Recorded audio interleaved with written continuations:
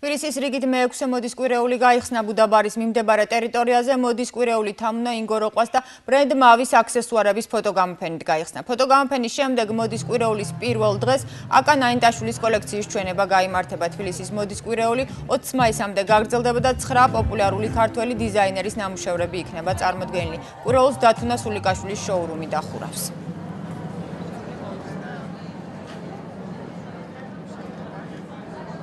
თბილისის მოდის კვირეული გაიხსნა, კიდევ გასტან სამ დღეს და მონაწილეობას მიიღებენ სხვადასხვა დიზაინერები. მათ შორის ის ქართველი დიზაინერები, რომლებიც უცხოეთში ძალიან პოპულარულები არიან, კერძოდ გიორგი შაყაშვილი და ბიბი ბახტაძე, რომელიც პირველად გვესტუმრება და 20-ში გამართება მისი ჩვენება. ქართულ დიზაინერს ახალგაზრდასაც და მოზრდილსაც ხელს უწყობს დემონსტრაციისთვის და ახალი შოუების ჩვენებისთვის და ესე იგი ვულოცავ ყველა ქართულ დიზაინერს, ვინც მონაწილეობს ფილისში ფეშენ ვიკში მონაწილეობას.